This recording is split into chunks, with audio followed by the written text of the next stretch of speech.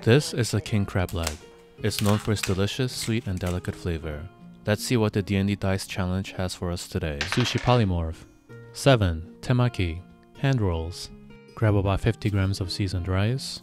Nice. Mercer's 3. Veggies, fridge clean. Today we have avocados. This should work really well with the crab. The mild flavor and creamy texture should be perfect here. Next, of course we have grunions. The mild pungent flavor should also work really well here. Let's roll these up.